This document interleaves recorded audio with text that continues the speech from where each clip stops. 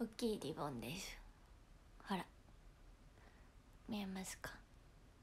大きいリボンです。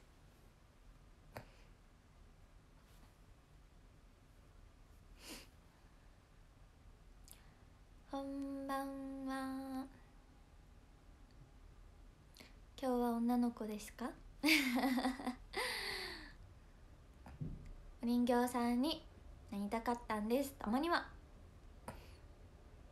夜に皆さんのお家へ私が忍び込んでお人形になりますね。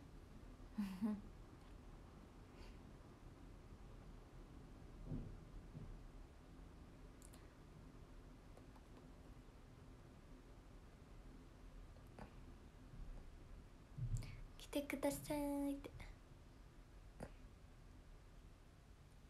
今日はカレンダーブックのサイン会でした。サイン会でした。応募してくれたみんなみんなみんなみんなありがとうございました。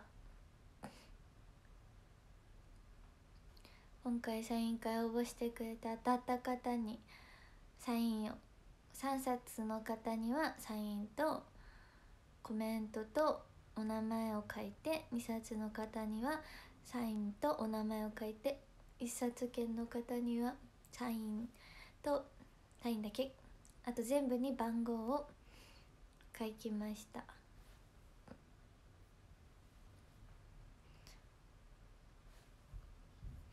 一人ずつのなんかページに書いて一部がひとみとよりさんで二部がマイカと渚で三部がアンと証拠でやりました。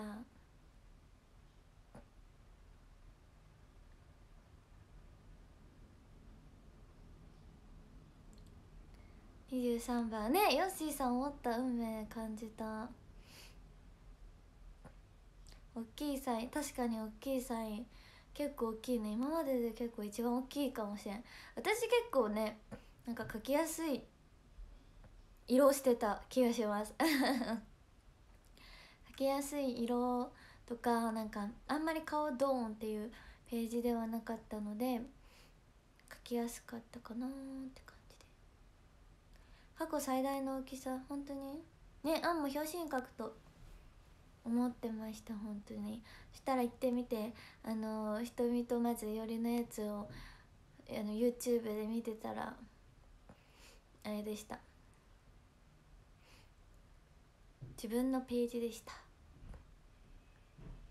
そうだね結構翔子とかは結構暗い系のね、まあ、図書図書館デートだからちょっとね暗いかったから。でもきっとね見えますよ。目をこうやって。近くで見たらみんな見えるから大丈夫だよ。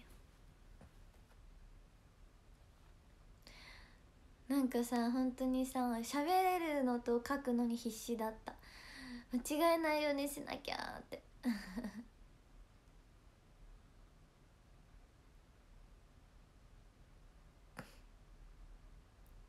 疲れなかったよ。なんかそうでも今日ねあの野球あったじゃないですか。ですごいなんか朝から朝結構早く今日集合でみんな全員朝早かったんですけどでその後すっごい空き時間があってめっちゃ暇やったんですよ。そう。めっちゃ暇ででも本当に何しようみたいな感じででも早く行ってそうねもう先にメイメイクして髪の毛もやってもらってで楽屋で翔子となんか野球の話をずっとしててでお互いラジオを聴いたりしながらあのずっとあれしてでも2人とも眠たすぎて ほんまに眠たすぎてなんか寝ながらラジオで私ラジコで聞いてたんですよ野球を。いつの間にかちょっと寝ちゃってて そしたらもう準備になってって感じでした。そしたらすごいコメ欄がすごいあれでした。野球のコメントでがいっぱいありました。ふうふうありがとう。こチューシャかわいいってマリオちゃん。ビッグカチューシャです。そうコメラめっちゃカープ実況してくれてた。ラジコラジコでずっと聞いてました。マツケンさんありがとう。ともっちこんばんは。マモタンナといえば野球。そうだからヘアさんたちも笑ってた。私と翔子がずっと野球の話で盛り上がってて2人でその後あの実況とか見始めて「やばい今何回えど今何回?」とかお互い話して「今ツーアウトで」とか言ってたからマジでどんな話してんねんってなって笑ってた。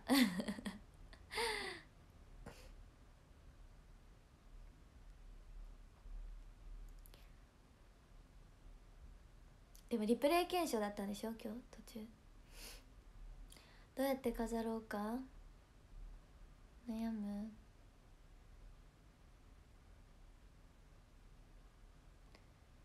ケイジョンさんありがとう。これはもしやタワーですか？マツケンさんくまちゃんタワーありがとうございます。マツケンさん今日ありがとう。マツケンさんマツケンサンバあマツケンさんお誕生日。おめでとうございます。今日もう一人お誕生日ファンの方いるはずだよ。確か言ってた。はあのサイン会はちょっと個人情報かなと思って言わなかったけど。マツケンさん。あほら友。でしょ？おめでとう。友に迷い作文するね。マツケンさんタワーとあいわ作タワーとタワーとタワーありがとうそしてお誕生日おめでとうございます。マツケンさんハッピーバースデートゥーyou happy birthday to you happy birthday dear マツケンさん happy birthday to you おめでとう。ってともちゃんとも投げなくていいのに。ともタワーありがとう。じゃあまずマツケンさんのあいう作文をします。マツケンさんのまあ毎日いつもショールームを見てくれてありがとう。マツケンさんのつ積み重ねてきた。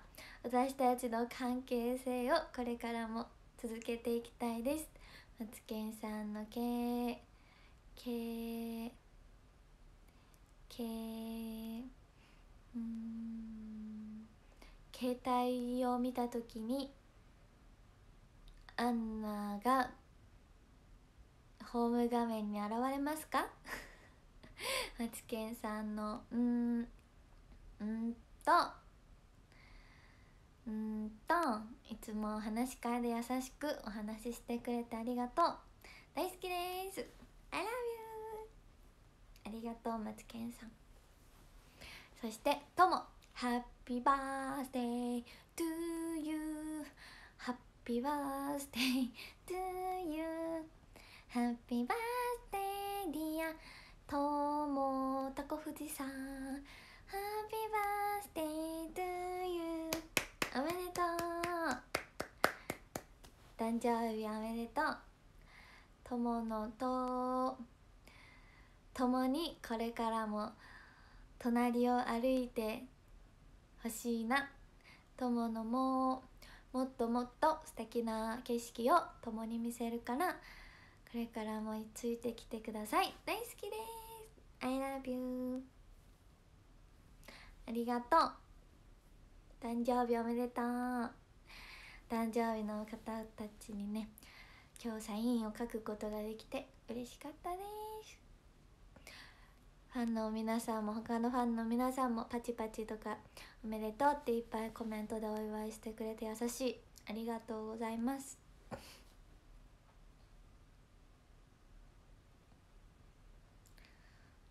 だだだなんかさ今日のさサイン会さすごいねなんかね顔テッカテカだった。なんかすっごい光が照明がもうめっちゃ照明が来てたんね。そうだけんねなんかねもう照明って感じでねめっちゃね照明だった。からすっごいテカテカっぽく見えなかった。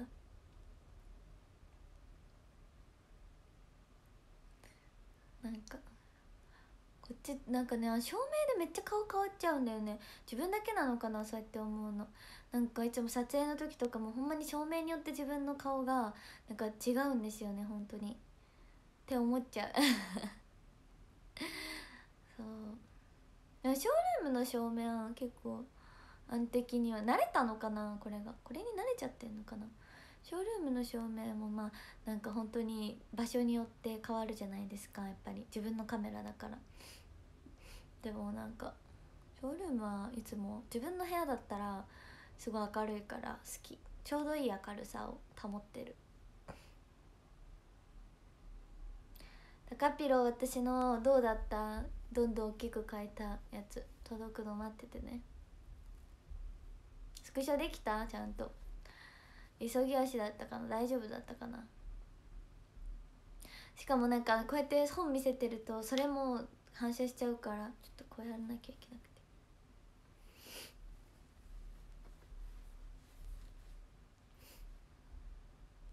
今日のお洋服はこの前買った H&M の23のコラボのやつのニットなんかな多分。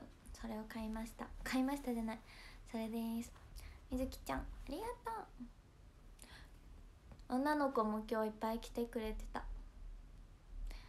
いっぱい女の子のお名前も書いたしてかもうほとんどの方ほんまにめっちゃもう顔がわかる。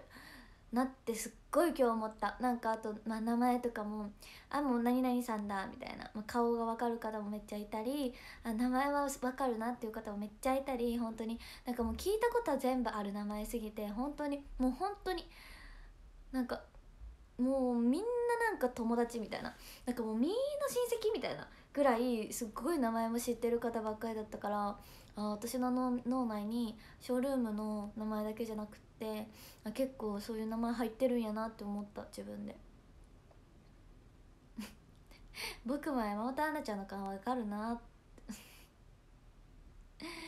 いや本当にすっごい分かってなんかあ何々さんやみたいなほんまに。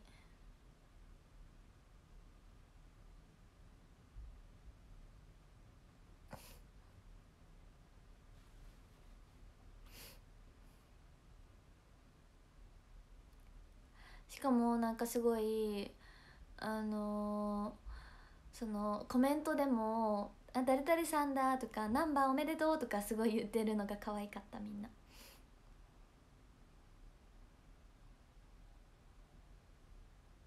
女の子だって分かってくれて嬉しかったって夫婦分かるでしょ。人形さんみたいで。あきゃりんやった。今日のテーマ。リボングッド？よいしょ。ちょっと待ってねでも本当にね最近聞いてほしいことがあるんですけど本当に最近物がなくなってしょうがない。私のなくなったもの発表するね。あの4つぐらいあるんですよね確か。なんだっけな。なくなったもの1つ目。キャスケット。帽子のキャスケットと2つ目充電器。うん？充電器じゃない。充電器は壊れたんだった。なくなってない。2つ目はなんだっけ。イヤホン。またイヤホンなくなったの。本当にどこやったんだろう。私この前さカラオケ配信して私その後どこやったんって思ってマジでイヤホンがないんですよ。だからまたカラオケ配信できなくなったでしょ。であとエコバッグもなくなったでしょ。うんとあと何なくなった？もう一個なんかなくなったよ。どっか行ったんなんか本当に最近なんかなくなったものが本当に多くて。う本当につらい。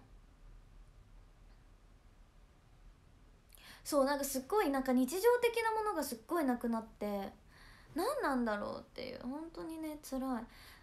うんそうエコバッグ YouTube で見せてたやつ。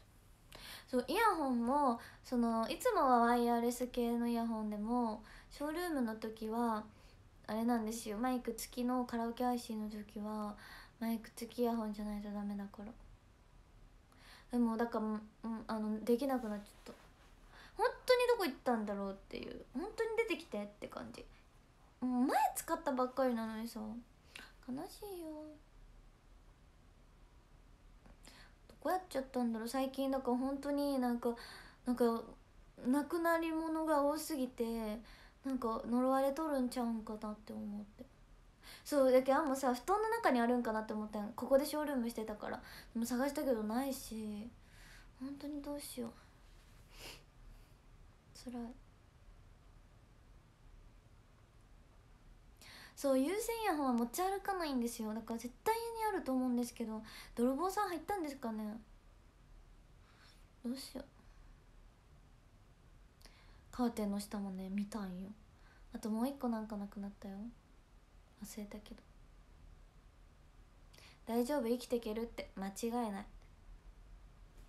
そうなんですよ。忘れた頃出てくるんですよね。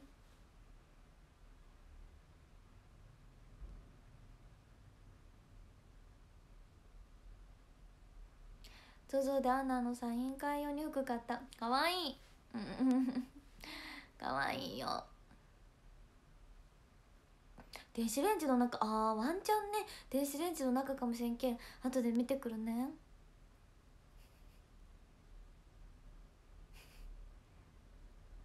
あー冷蔵庫ね。確かに。冷やした方が耳に入れた時気持ちいいからイヤホンは。ワンチャン冷蔵庫の中かもしれないから。うん見てくる。後で。かまってあげてたんだよイヤホンも。全部使ってたんだもん。全部使ってたよ本当に。可愛さがなくなってかないから大丈夫です。やだじ。みだぎです。じいじだ。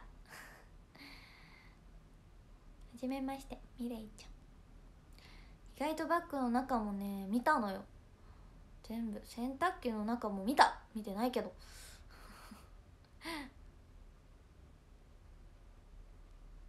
靴下の中？えー、クリスマスじゃないよ。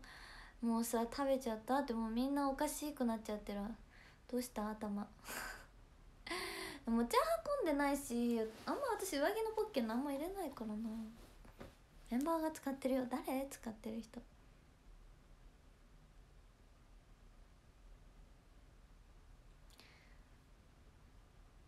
今日ね夜あお昼ご飯をパスタ食べたんですよ。でめっちゃお腹いっぱいだったんですよその時。そうそれでその後あの楽屋にいちごがあっていちごをすごい食べたら違うんですよ。なんかねすごい15個入りのいちごがあって行ったら。したらでもまず私たち今日6人しかいないじゃないですか。でなんか15個入りなのにあと2個しか残ってなかったんですよ。そうそれでうわめっちゃ食べたじゃんみたいな。そうで多分ナギはその時食べてなかったからですっごいねいおりとひとみがめっちゃ食べてるの見てたの。見たね。でも絶対あの人たちじゃんって翔子と言ってたのね。もうあの人たちめっちゃ何個食べたんやろ？って言ってたんですよ。そしたらなんかそうでなんか2個残って残しててで私と翔子が食べたんですよね最後に。そしたらなんかもう一個出てきて箱が15個入りの箱が謎に。謎にもう一個箱が出てきて「どうぞ」ってスタッフさんが「差し入れです」持ってきてくださって「え？みたいな「もう一箱あったの?」ってなってそうその時でも私と翔子しかいない時ぐらいでもうみんな帰ってて4人は。だからあのあれでした。もう2人でいちごを食べまくってなんかもうすごいしかも美味しいいちごなのにすごいいっぱい食べちゃってなんか贅沢な女になっちゃった。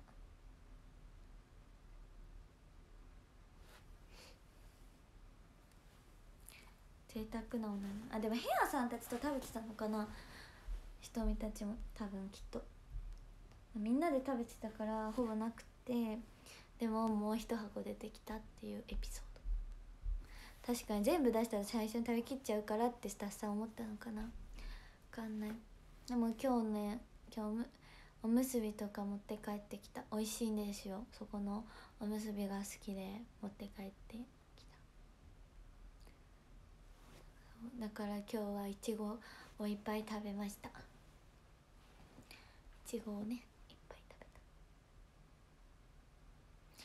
た。唐揚げ自体は持って帰ってないけどハンバーグ持って帰った。なんかねちっちゃいこんぐらいのカップにハンバーグが1個入ってるんですよ。そうなんですよ。私たちが多分撮影の時にそこがすごい美味しい美味しいって言ってたからそこにしてくださったのか美味しかったです。そういつもねご飯美味しい。おむすび明日持たないですか？おむすびって明日まで持つかな？冬だからいけるか？冬じゃないね今春だね。夏じゃないからいけるか。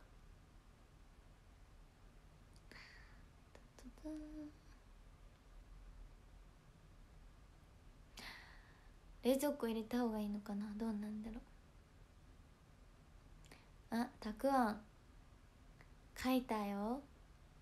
あ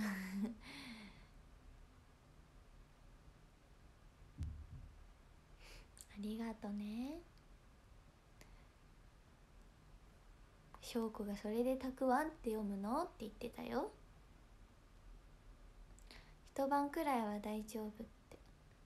でもさなんかおむすびは常温が好きなんですよね。あったかいのも美味しいのかな？冷蔵庫冷たいおむすび嫌じゃない？温めればいいのか電子レンジ入れればいいのか。でもなんかなんかさお弁当のさご飯ってさなんか常温が美味しくない？そうでもないのかな？分かんないけど。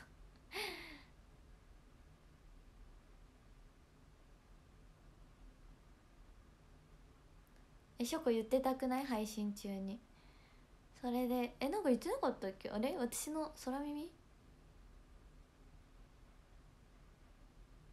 そう冷蔵庫に入れるとカピカピになるの。硬くなっちゃうじゃん。だけどねあんまり冷蔵庫を入れるの好きじゃない。だけど冬とかは冷蔵庫を入れないようにしてる。お弁当持って帰っても。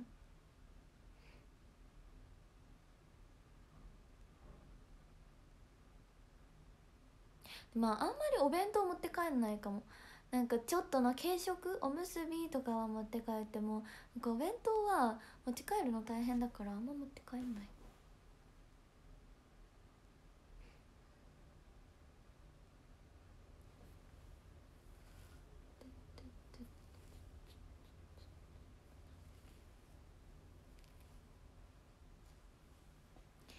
です。でもなんかそう昼をいっぱいまあいっぱいというかパスタ食べてでいちご食べてたからもうお腹空いてなくてでもなんかそうしたら逆にこの9時ぐらいにお腹が空いちゃうんですよね今。ちょっとだけお腹が空いてきちゃって困ったもんだ。難しいね。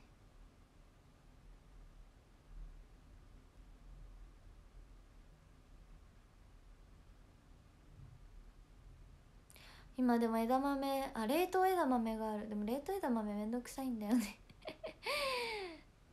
結局冷凍枝豆より普通に食べれる枝豆買ってきちゃう。冷凍枝豆家にあっても買ってきちゃう。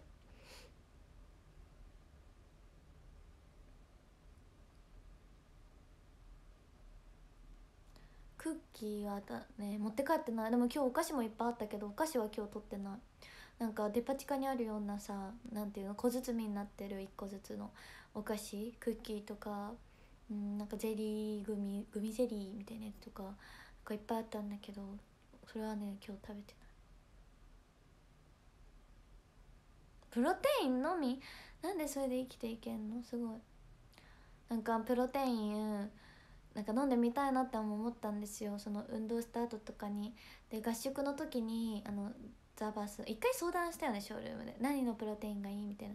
でザバスだっけ？それのプロテインをそのパックのやつを2回ぐらい飲んだけどでも今冷蔵庫になんか紅茶味のプロテインみたいなザバスのやつがあって美味しそうだったからそれだけ買って放置してる冷蔵庫に。1週間前ぐらいに買った。けどまだ飲んでない。なんかプロテインってさしっかり運動した後に飲まないとさ意味ないじゃん。だから。最近最近ちょっとバタバタしててあんまりそのか自分の中での運動っていうのができてないからそういうのをちゃんとした日に飲もうって。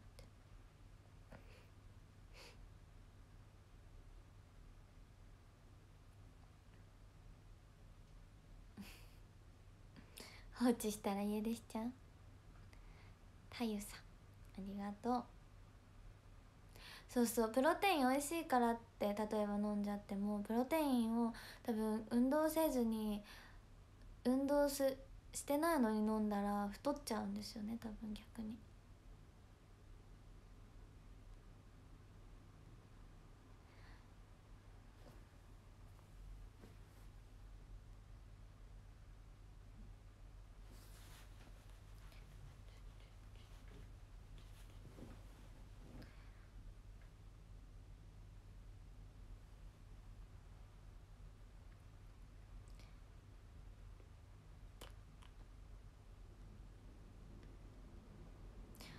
まあね置き換え苦手。なんかねなんだろうね。あんまりねダイエットは難しいよね。本当に。あプロテインだけだったらねでもなんか物足りない。物足りない。もっとご飯食べたい。固形物食べたいってなります。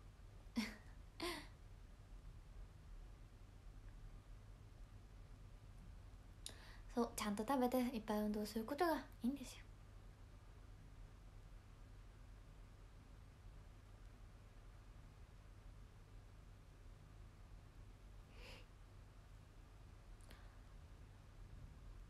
でも広島におる時は毎日お米食べてたんですけど東京に来て毎日お米食べなくなった。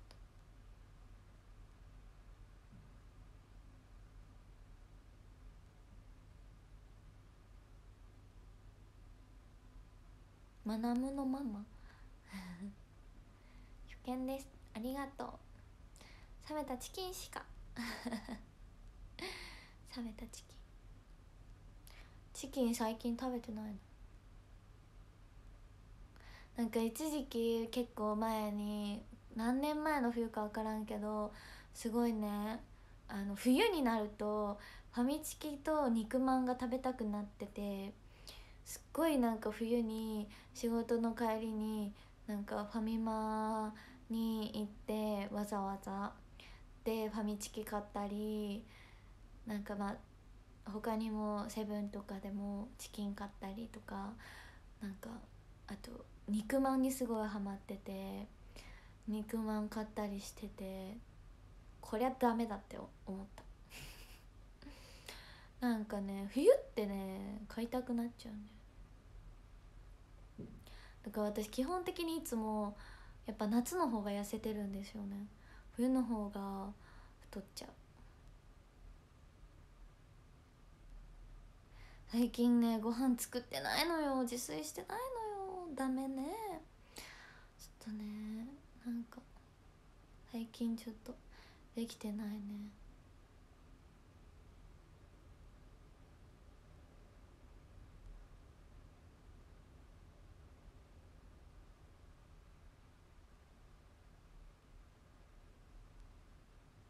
なんか寒い方が食べちゃうんだよね。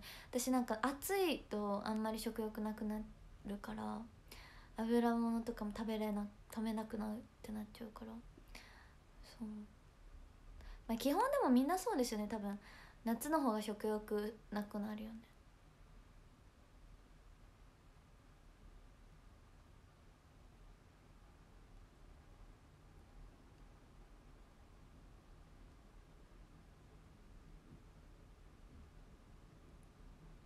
でも本当に一番ダメなのはマジで差し入れとかお弁当だってお弁当ってやっぱめっちゃ添加物みたいなすっごい多分正直余計なものがいっぱい入ってるじゃないですか。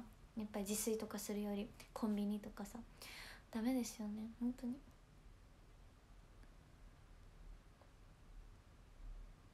レッスンの時はねみんなあんま食べないんだよね。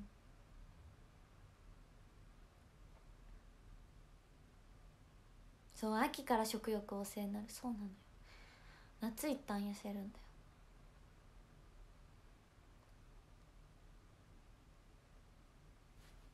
よ。いやコンビニはね美味しいけどね。美味しいのよ。美味しいけどやっぱり。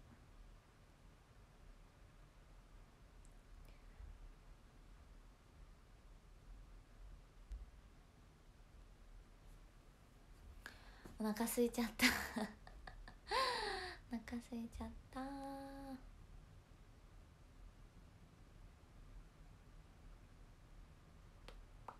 抹茶ラテ美味しかった？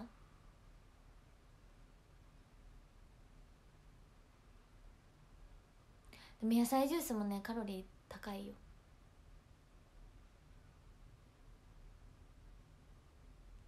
フォローしました。ありがとうございます。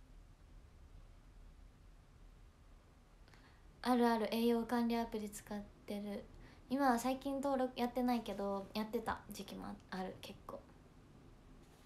ハーゲンダッツの新しいやつってどのやつ？あもうこの前ハーゲンダッツの話してあのミニミニ？スミニ？カップ？ミニの6個入りの新しいやつ買ったんだって。まあまだ1個も食べてないんですけどね。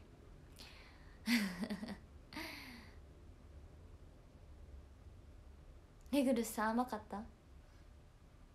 えー、トマトジュースにオリーブオイル。えー、あレンくんだ。今日は2冊だっけ？ありがとう。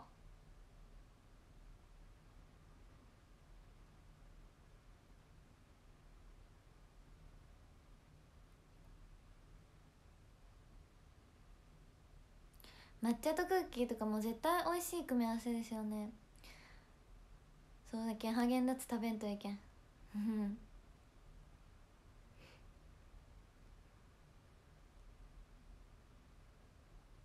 そうなんか結局ね、うん、アイスをでもあんまりそのさ途中でさ食べかけのをさなんだろう冷蔵庫に戻すのって多分あんまり正直良くないじゃないですか衛生的に。だからそのさだってスプーンとかでさこう取っちゃってるわけだからハーゲンダッツとかもさ。だからその大きいカップよりミニカップの方がこう全部食べちゃった時にいいかなって思ってミニカハーゲンダッツ買う時はミニカップをなんか買うことが多いです。でも一時期そのミニカップの6個入りの何のやつだっけな1回前のショールームでもだいぶ前に言ってたんだけどなんかなんだっけなんかの味のそれもなんかいつもはないような今期間限定で発売されたてた時の味のやつがめっちゃ美味しくて何回もその6個入りのやつを買ってしまってはあダメだなって思ってた。でも買っちゃうんだよ。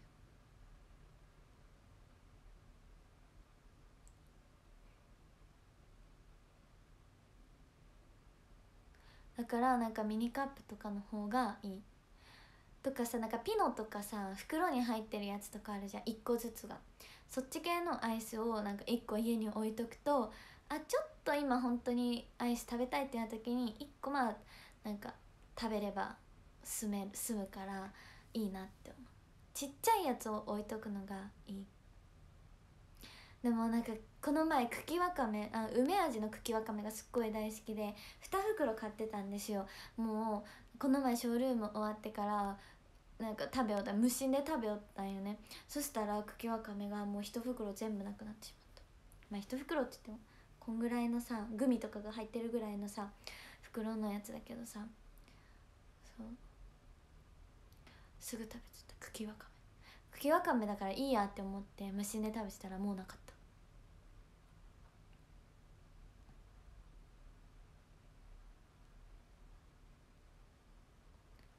ピノはチョコ味が好き。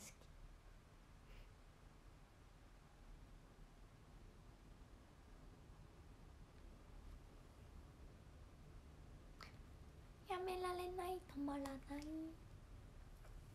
でもね茎わかめね。あんまり売ってないんだよね。なんかスーパーとかでも茎わかめあっても梅味がねたまにないんですよ。そうでも100均にあったダイソーに。だから2個買った。しかも違う2種類。違う種類の梅味が2個あったからどっちが美味しいかなってやりたかったから2種類買った。でもまだ1個種類しか食べてない。1個種類。1種類。しか食べてない。100均ってほんと天才だよね。ダイソー大好き。そうそう。塩分があるのよ茎わかめって。カロリーはないけど。まあまあまあ美味しいから。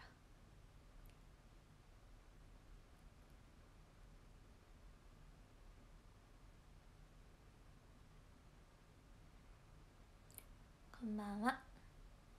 こんばんは。ダイソー住めますよね。全然住めると思う。街で何でもあるから。えでもなんか今日ね翔子とあんとなんかヘアさん2人いてで1人のヘアさんが私広島出身でその近くだったんですね。そうそれですごいイントネーションとかにち近いみたいな言っててなんか似てる部分があるみたいな言ってたから言っててなんかさくらんぼのこともさくらんぼだったんですよ。本当はなんか標準はさくらんぼらしいんですけどあんとかがいつもさくらんぼって言ったらメンバーに「さくらんぼね」って言われるんですよ。でヘアさんが今日さくらんぼって言ったんですよ。翔子がさイヤリングしてたのがさくらんぼでその話をしてる時さくらんぼって言って翔子が「ああアンナと同じイントネーションだ」ってなってそっから方言の話になってたんですよ。そしたらなんか「えじゃあダイソーはダイソーって言いますか？ダイソーって言いますか?」って言ったらダイソーだったんですよ「じゃあ牛角は牛角ですか？牛角ですか?」って言ったら牛角だったんですよ。あれれってなりました。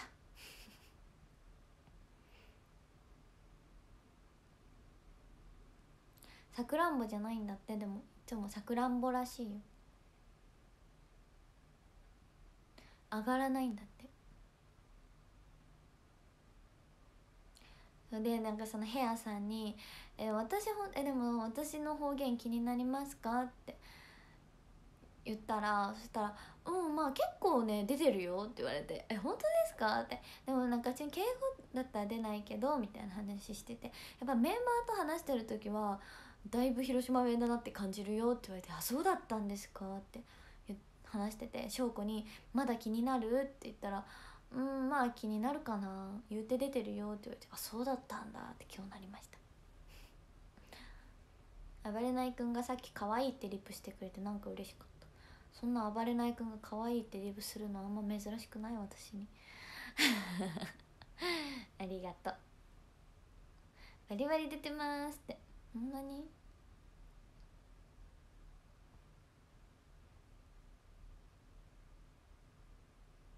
別に東京に染まる気ないけんね。染まる気ないです。広島をね捨ててないから私。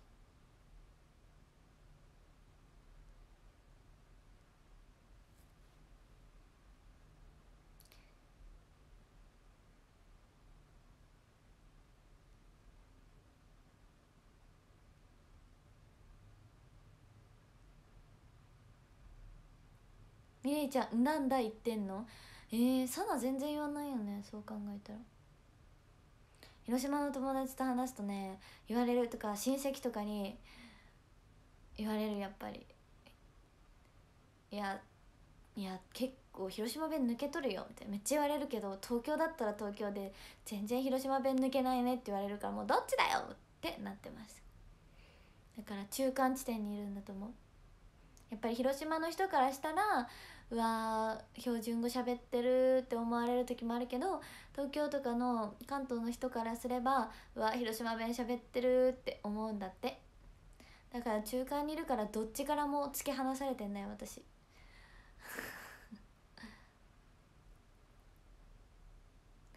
どっちからも「おい東京に染まって田舎だな」みたいな。どっちからも突き放されてるからもダメなんだよ私。いいとこないじゃん。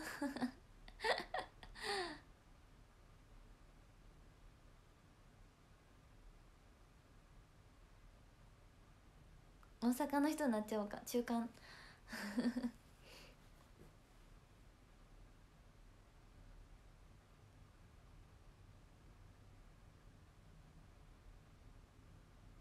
そんなアンナに寄り添いたい。ありがとう。寄り添ってください。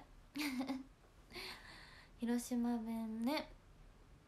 もっと出そうか。でも広島弁を喋ろうとしたら多分もっと出るんじゃ出るんじゃと思うけどね。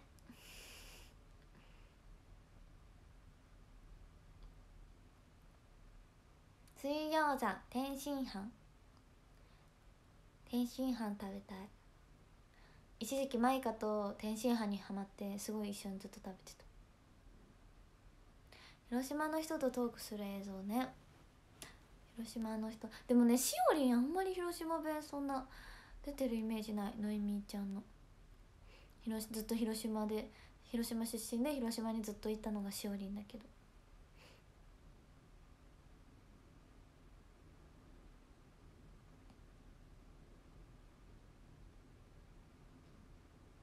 あなた水餃子って呼んだの？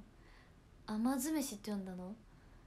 偏差値70とか言ってる子がいじっちゃろう。いじっちゃろ今度。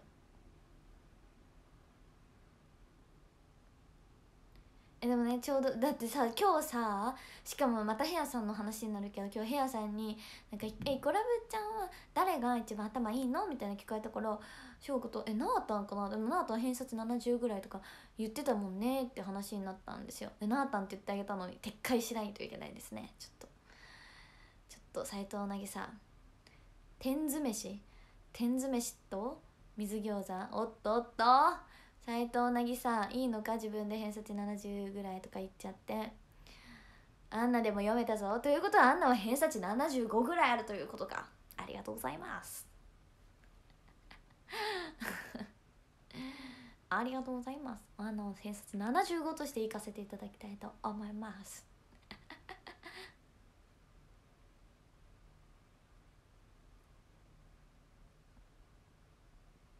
漢字苦手なんですか？まあ私も人のこと言えないんですけどね。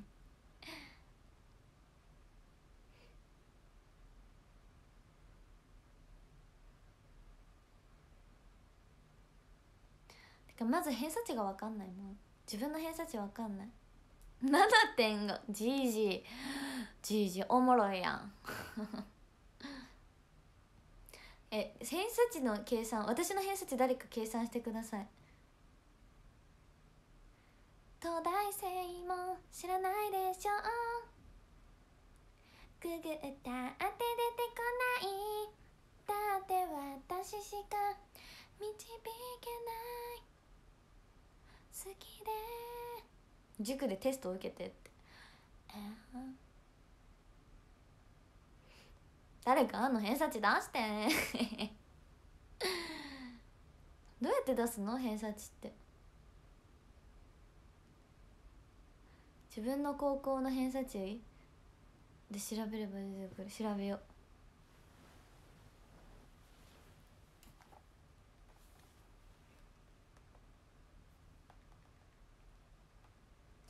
でもなんか今とさ昔違うよね絶対。絶対違うよね。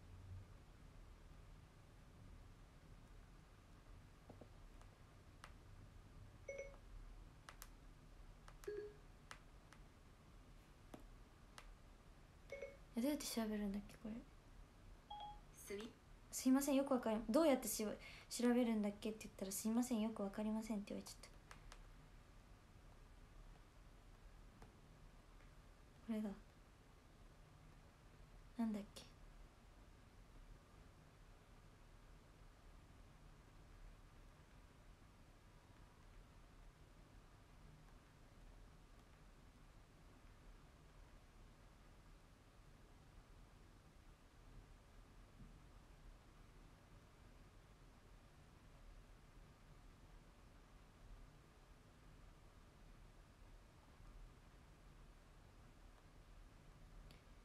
偏差値ランキングとかあるよ。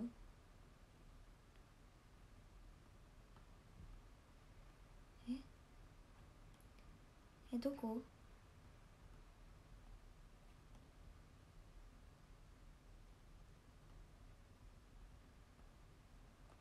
えどこ？いない。いないよ。え？どれ？どうやって見るの？どうやって見るの？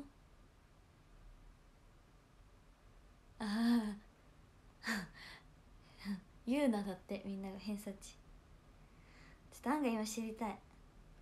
みんなあんのこと守ってくれるの？まあでも別に高校バレたっていいんだよ。そんなわだってもう卒業してるし。でもね出てこないっすわ。値の。だ値どうやって検索したらいいのかわかんねえんす。なんで？ああそういうこと？え？違うよ。だってこれ奈良県だもん。なんで？アンナちゃん広島県だもん。わかんないよ。言わないよ。言わないけど一回自分の偏差値知りたかったの。でもさその中でもじゃない？だってさ自分の高校のさ偏差値を知ったとしてよ。偏差値を知ったとしてでもその中でさ自分がさ頭いいかとかわかんないじゃん。だから。難しくない？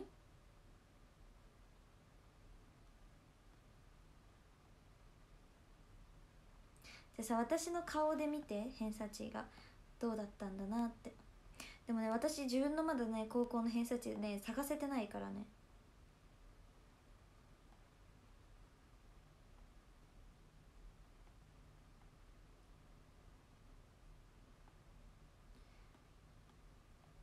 えわかんない本当に。うん私が顔で表現するしたいんだけどまず全然見つかんない。私の高校の偏差値が見つかわからない。から言えないんだよね。言えないというか顔で披露できない。私が顔であれしたかったんだけど。大学ではないからな。うん。あでもこれか？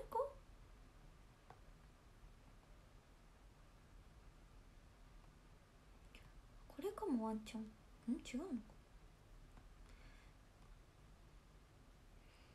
あーなるほど。えわかんない。でもこれが本当なのかわかんないんですけど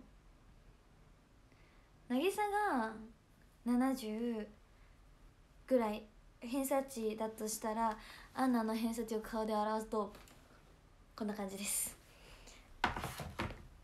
こんな感じです。はい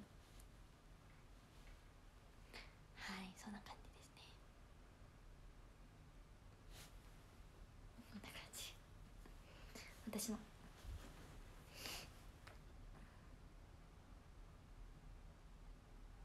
え一番偏差値低くて何ぐらいですか？あー50が平均なんだ。うん。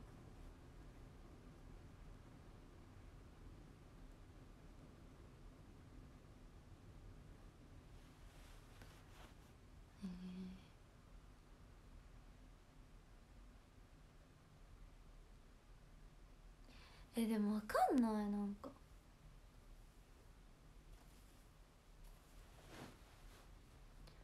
わかんない。えうん？えでもなんか思ったよりじゃないかもしれない。でも噂によると私の言ってたとこはそのなんか私の先輩はなんか後から数学が0点だったんだって入った時。って言ってたよ。0点で入ったって。聞いて0点だったらしいよって後から先生が教えてくれたって言ってた。だから自分が何点だったか知りたい。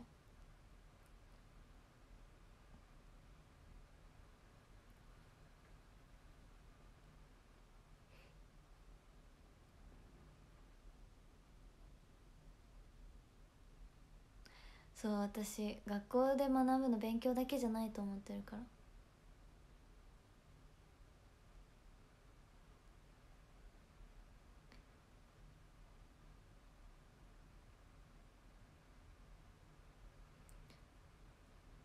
でも学校の中でも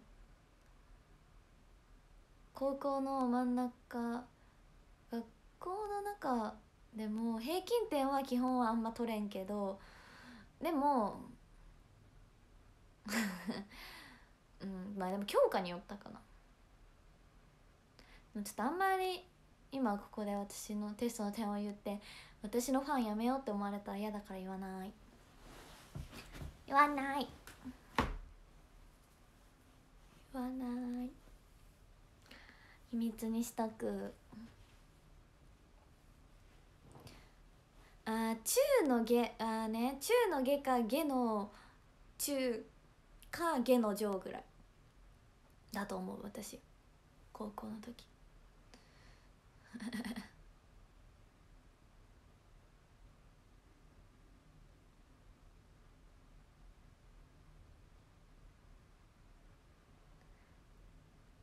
全部内緒。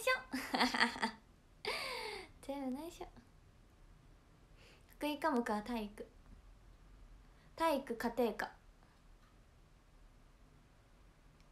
体育かいやちょ引いちゃうじゃんみんなが。私のテストの点を聞いて引いちゃったら困るから。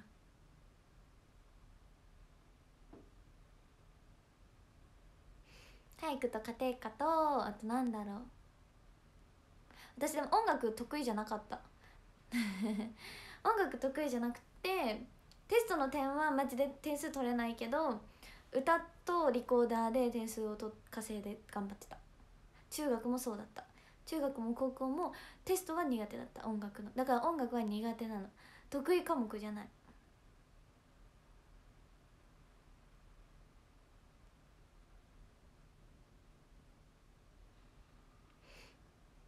学活とか得意。あと美術もめっちゃ不得意。美術はめっちゃ不得意なんかもううまくできない。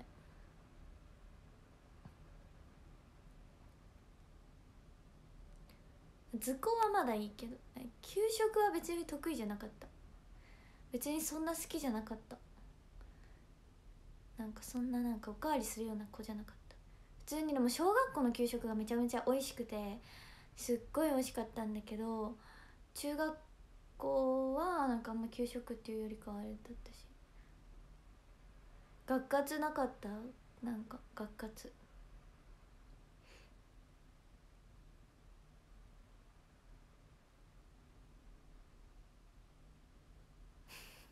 美術得意じゃなくて安心って言われちゃった。あれで得意って言われたら困る？給食にお好み焼きはちょっと出てこんな。道徳はまあ得意。道徳大体みんな得意でしょ。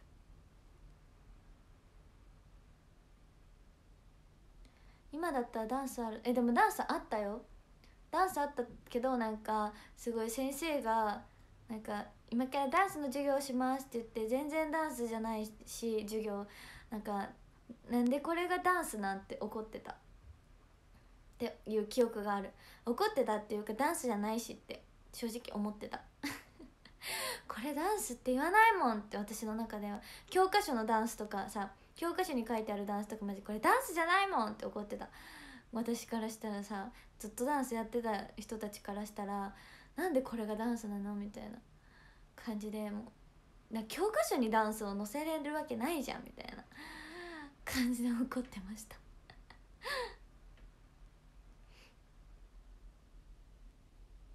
しかも普通になんかなんだろうなそのフォークダンスとかだったらまだいいんですけどなんかそれがヒップホップって言われたらもうなんでやねんってなってました。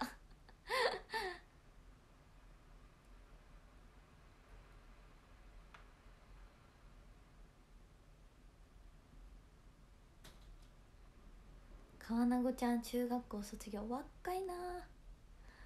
ピチピチ中学生。かわいい春から高校生。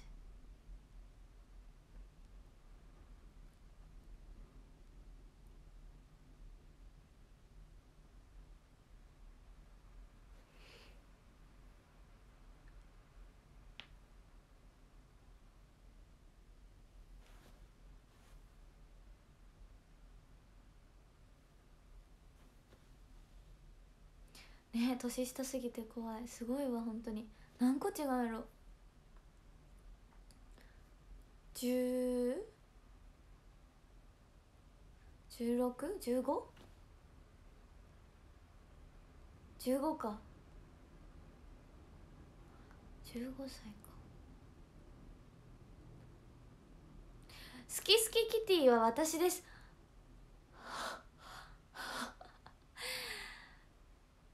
そういうことか名前変えるって確かに言ってたわ。田名ゆいさんだったんですね。好き好きキティ。おい。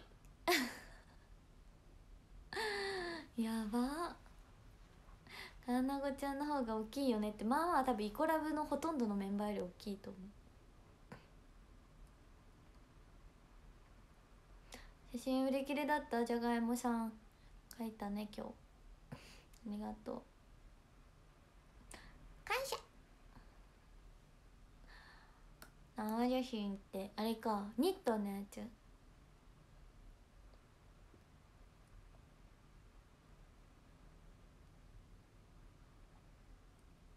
どう見てものいみちゃんさ塩見るコンビが一番最年少に見えるよね。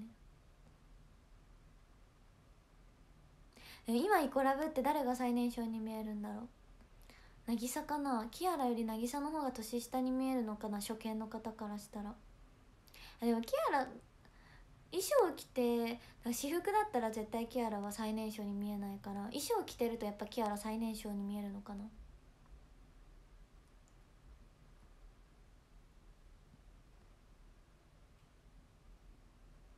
うねアンナって言ってる人はもうイコラブ沼にハマってる人だから。あのねアンナって言ってる人はもう本当にイコラブ沼にハマって私のいじり方を知ってる人だからもうねいいよ。いいよ。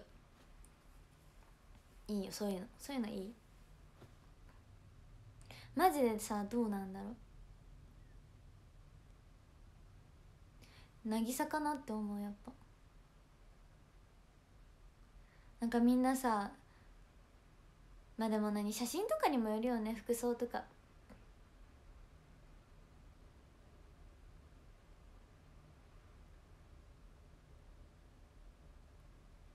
かわいいよあんちゃんって。急にフォロー？声は私声うん。そう声だとキアラだよやっぱり。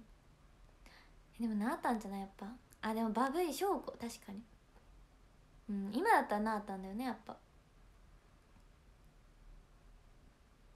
なぎだよ。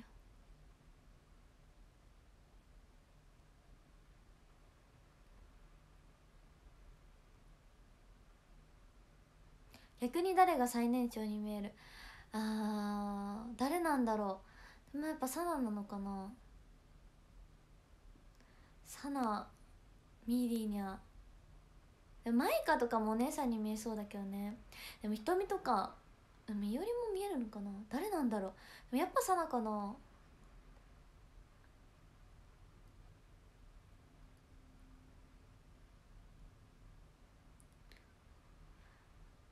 そこはアンナじゃないっていうコメント一個もないんだね。一人もいないんだね逆に。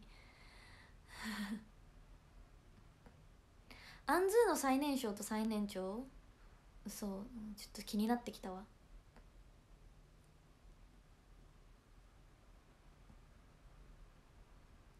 さなやっぱさなみ入りが多いね。一個もあんちゃんってコメントなかった。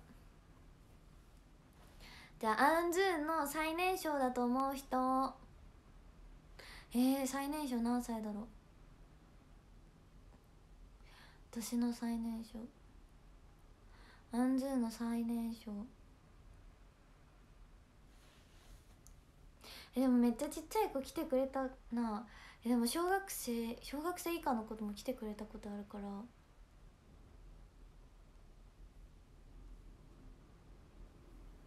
結構ちっちゃい。ねもうどうだろう。多分その子アンズーってまだ知らないけど好きって言ってくれてることあ小学生の子は全然来る。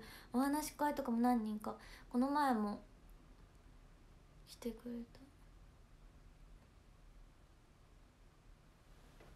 た。うんこの時間にはいないな。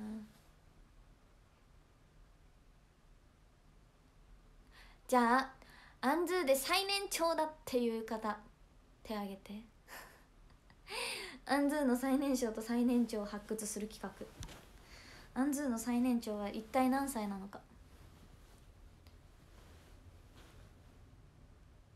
一体何歳なんであろうか。はい。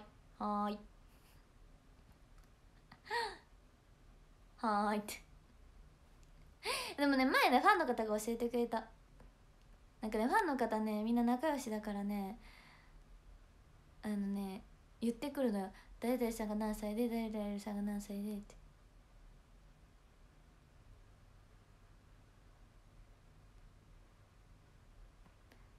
一番一番世の中を知ってる方。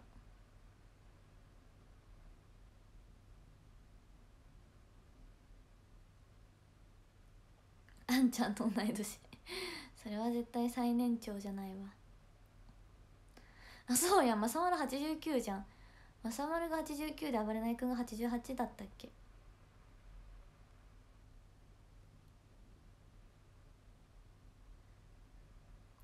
みんなが知ってる中でポークさんの名前が多い。いないかな今日。ポーク卵さん。ポーク卵さんかわいい。本当に。本当にね優しいのポーク卵さん。なんか本当にやっぱりなんだろう落ち着きがあっていやみんなが落ち着きがないって言ってるわけじゃないんですけど なんか本当にねすごいね優しい。なんか私も大切にしたいってすっごいもうね心の中から思う。心の底から思うの。本当に。ポークさんのこともそうだしもう皆さんのことを本当に。なんか。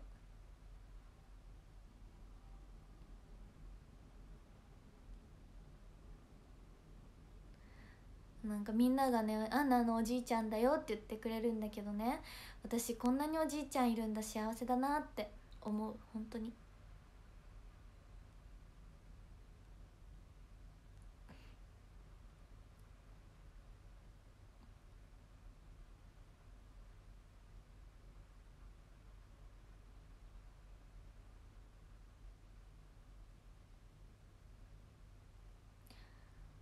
本当にね。だからマジであんいつかなんかにこの前言ってたじゃんシニア席作ってくれって私のファンの方言うのよ。いつか作りたいって約束してるからマジであのね作りたい。本当に。多分黄色と青のペンライト多くなると思う。そこの席。他より。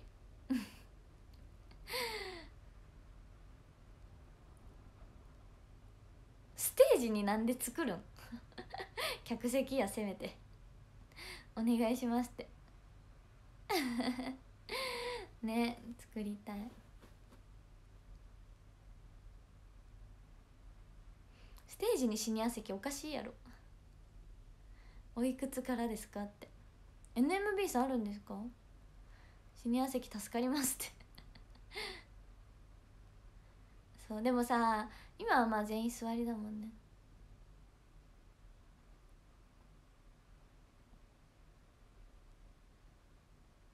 だからさでも本当になんか夏の野外イベントとか来てくれるって言ってくれるのすごい嬉しいんだけどもう心配になっちゃうな。本当にステージ上から。もうなんか大丈夫かなって心配になっちゃう。本当に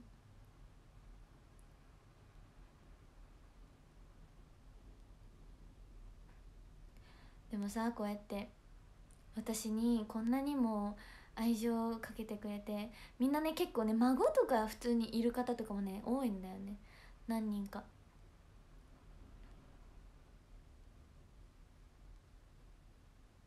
でまあ野外はてかみんなのこと心配。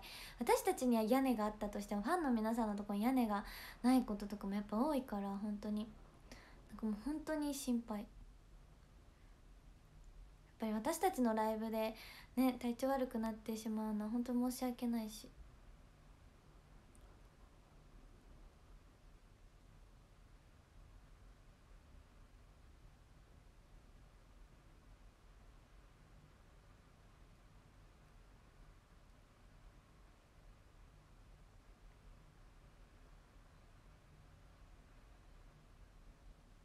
マスクで野外日焼けやばそう確かに。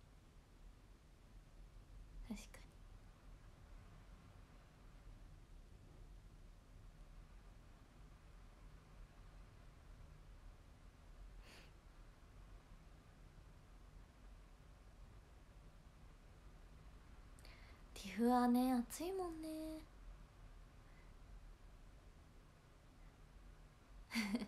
ファンの平均年齢。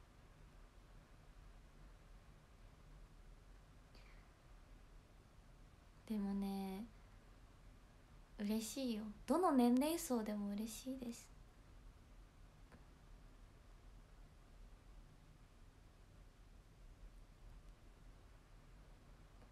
でもなんかお話し会今回のお話し会で女の子と喋る機会が前より増えた気がした。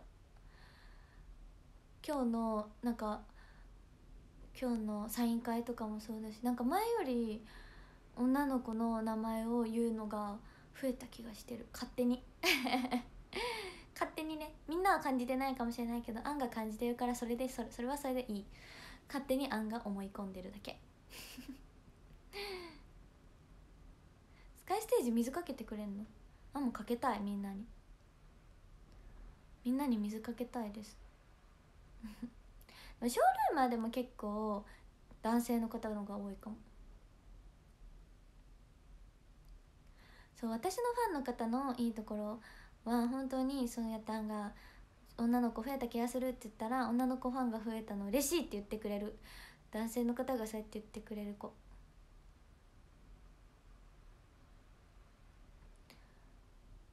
ってくれることが嬉しいです。ペンラが死ぬからやめてって。水かけたら。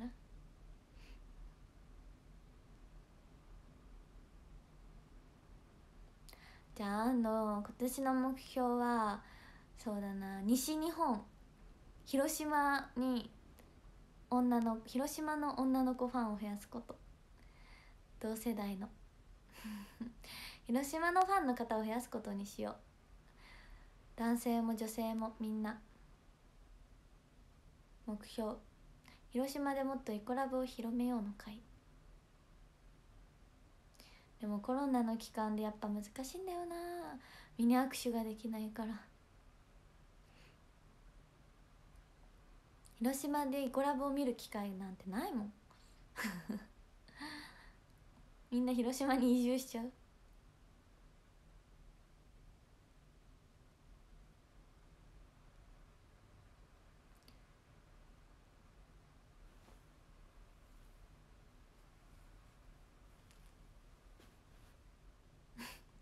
戸籍みんなが移しちゃう。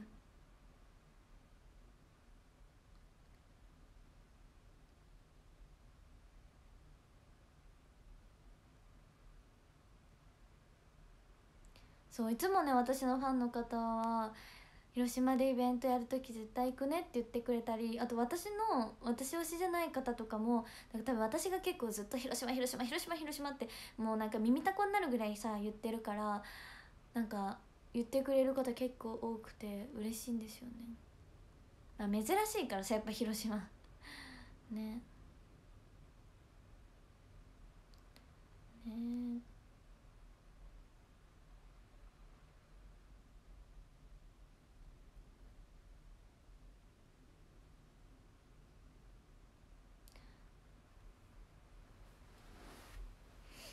みんなが言ってくれる。もみじまんじゅうとコラボしてほしい。よろしくお願いします。いっぱい言ったもん勝ち。そうだよね。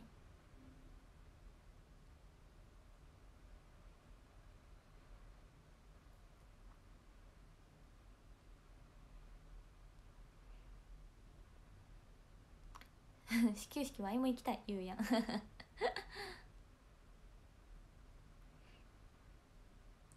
ね始球式もね。でもやっぱさ今なかなかさそういう関東から広島に行ってイベントをするとかさねそういう少しのこう私だけとかでもなかなかそういうのもさやっぱもうコロナでさないじゃないですか。わざわざあんまり東京の人を呼んでだって別に広島にもさねいっぱい広 STU さんとかアイドルさんも他にもいっぱいいるし芸能人の方もいっぱいいるからもちろん。だからさ正直わざわざ私を呼んでまでさないからなかなか。本当にコロナめ! ですよ。そういえば今日 STU さんとのいみちゃんだったよね。対バン？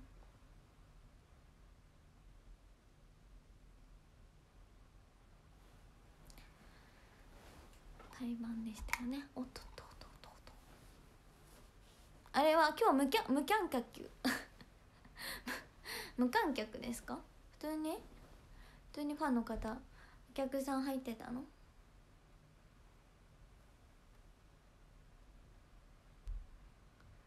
あ無観客なんだ。無観客なんだ。なるほどね。じゃあ映像だったんだね。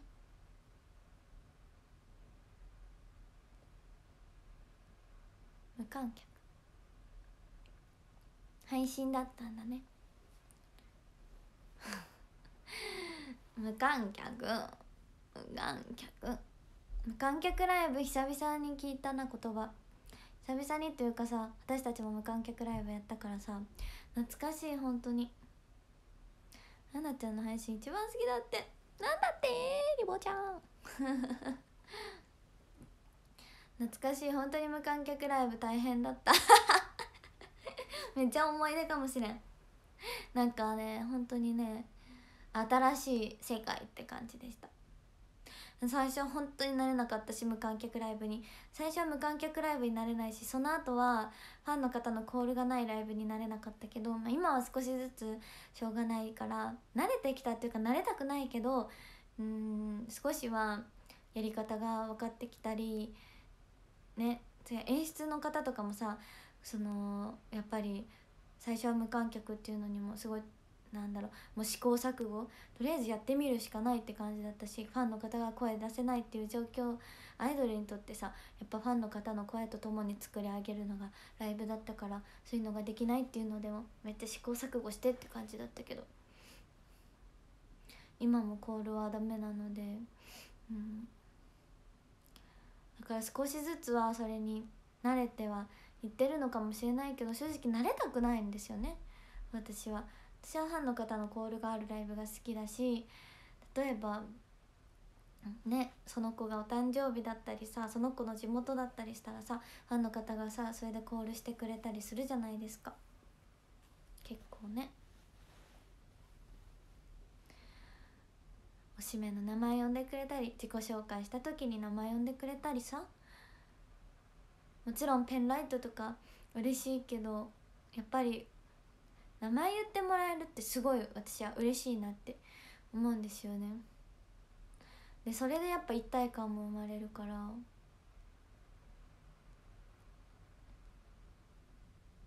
それでみんな声出なくて私たちもライブしてるからね次の人が声ちょっとガサガサになっててファンの方とかもっと枯れてんのよ。めっちゃ声枯らしてくるやんみたいな次の日が紅白とか全悪とか。例えばライブの次の日にそういう握手系のイベントがあったらもうめっちゃみんな声枯れてんじゃんみたいな。それが面白いじゃんやっぱ。それ楽しいじゃんなんか。めっちゃ声枯れてるって笑いながら。でも声枯れながらも握手してくれるのよ。可愛いじゃん。なんかそれも思い出じゃん。よくあるのがさそのコンサートとかライブ地方でやった後にそのまま4人ぐらい残って地方でミニ握手会をするとかさ。なんかその時とかもうよくみんな声出てないのよ。でもそれがなんかさ可愛いなって思うしさそんだけ一生懸命声出してくれたんだなって思うしさ本当に。なんかそれも良さじゃないですか。でその後ライブ終わりにまるさんたちとご飯行ったんだよってアンナについていっぱい語ってきたとかなんかそれぞれのなんだろうアンズだけで行く回もあれば他のメンバーのファンの方みんなで行く時もあればってすごいさアクリルスタンドとか生写真とかでさ写真撮って送ってくれたりさみんなリプで。なんかそういうファンの方の交流も見ててすごい微笑ましいというかさなんかすごいなんか上から目線みたいな言葉になっちゃうけどすごい可愛いなって嬉しいなってやっぱ思うからさ。だってさ私たちメンバーが打ち上げせずにささっさと帰ってショールームしたりささっさと帰って寝てんのにさみんなの方が打ち上げして盛り上がってるって可愛いじゃないですか。だから私はそれがすごく嬉しかったしだから。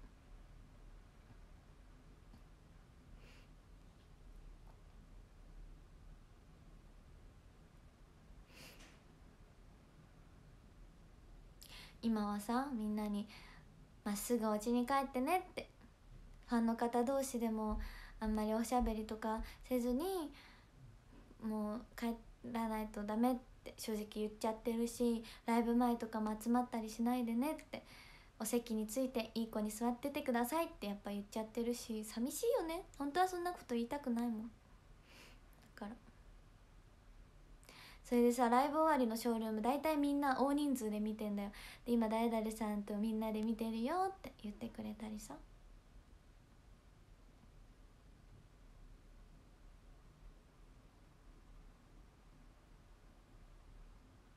でもさなんかみんなさ結構まあお酒とか飲んで酔っ払ってるじゃんか。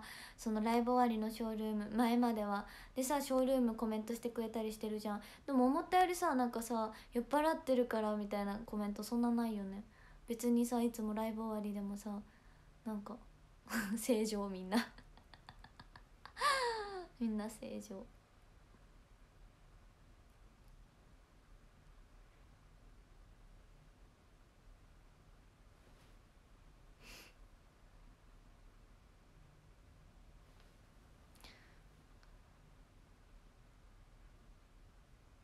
酔っ払うとみんなでタワー投げがち。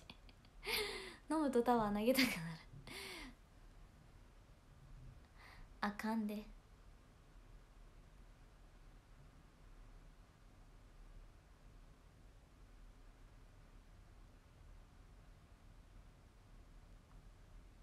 見てみたいみんながどんな会話してるのか。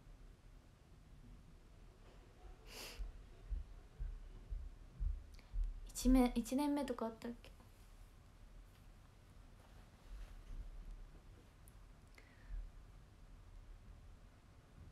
そういうのも全てが懐かしいです。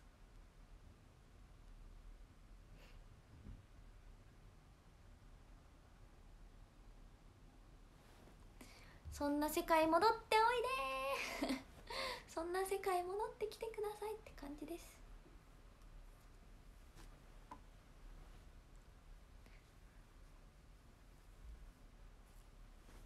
よいしょ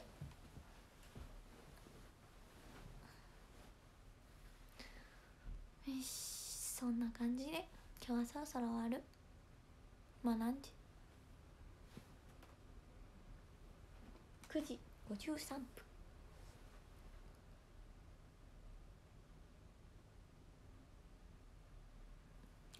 ちょっとね眠たくなってきちゃった。終わる理由眠たいからかーいって思った？でもちょっと本当に眠たくなっちゃった。終わります。終わります。今日はねでも言うて7時起きなんですよ。普通の社会人の方とかもっと早起きの方いっぱいいるんだよ。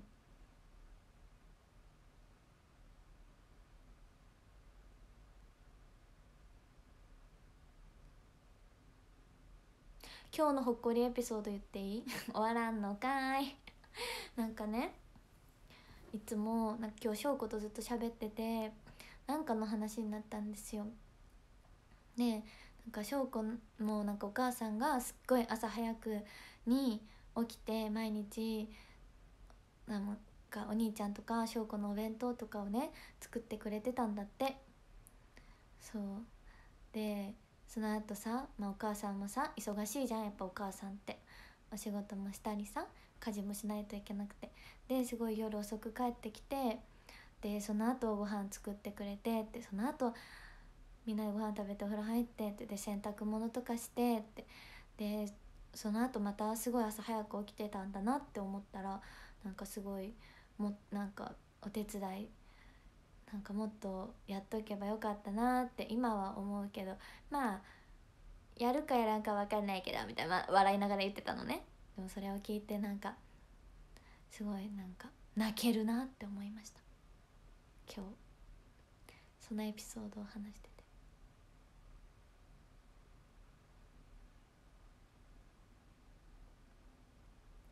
そうなんかちょっともっとね詳しくねその何時何時でって翔子がいっぱい話してくれたの。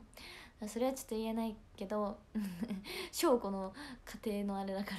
でもなんかそういう感じでなんか朝すごいお母さん早く起きてで夜遅くまでいろいろねお家のことやってくれたりしてとかいう話をしてていい子って思って可愛いなって思いました。っていう証拠の可愛いエピソードです。ちゃんとね証拠がすごく感謝してたから。っていう超ほっこりエピソードを置いて去りたいと思います。終わります。13位から読みます。13位がナナムー。12位がアンナだけの実寸11位がたーくん10位がたかひろんりーさん。9位がシェンさん。8位がゆかりん7位がゆうしすさん。6位が MKT さん。5位が謎の長老さん。4位がゴエスさん。3位がレグルスさん2位がマツケンさん1位がともともマツケンさんお誕生日おめでとうございます。ハッピーバースデー。素敵な一年に一緒にしましょうね。タワーもありがとうございます。ランダム5人1人目343 2人目ヒロさん。3人目ポークたまごさん。4人目庄司さん。5人目ヒロくんです。ありがとうございました。今日はサイン会もショールームもありがとうございました。じゃんけんします。せーの。じゃけんじゃんけんじゃんけん。おやすみとボール弁当箱。さよなら。バイバーイ。